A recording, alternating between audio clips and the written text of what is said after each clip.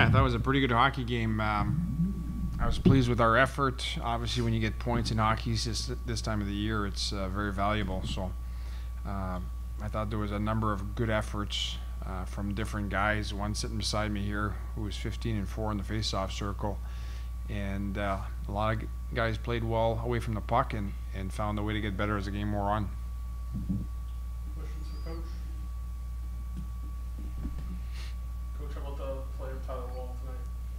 Yeah, Tyler was a, a good part of the shutout. Obviously, it's uh, it's tough to shut out an attack that's uh, uh, that multi-dimensional. So it's um, it was a great shutout. It was a team shutout, and, and uh, you know Tyler was a big part of that.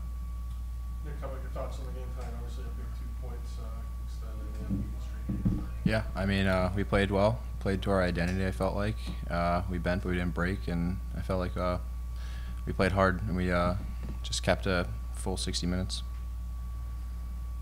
Questions for, uh, Nick at all? Nope. All right, Nick, in the back, thank you. Thanks. More questions for Coach?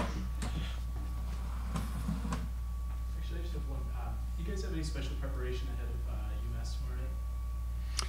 Well, we'll watch a film, and and uh, they've got certain strengths, and uh, we'll address those. But overall, when it's back to back with different opponents like this, you want to play your game to the best of your ability.